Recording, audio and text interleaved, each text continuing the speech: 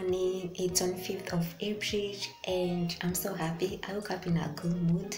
So first of all we did the news and these are my natural news. I opted to go nude and they're so pretty. Second of all this is my outfit of the day. I'm wearing a very fitting bodysuit for my shop and a wrap skirt that I thrifted from Gikomba I think five, six, seven years ago and today today is my first time to wear it.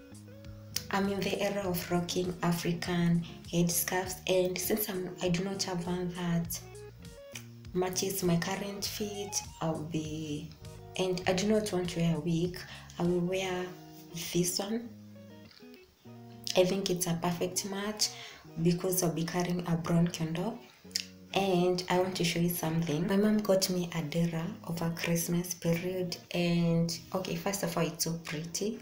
I have a thing for deras. If you want to make me happy, get me a dera. And I know how people say that um, dera dera ni tako kama huna ni kanzu. Yo, I do not care. I will wear my kanzu in peace. So I want to upgrade it to a more prettier dress have, a, have the perfect picture in my mind.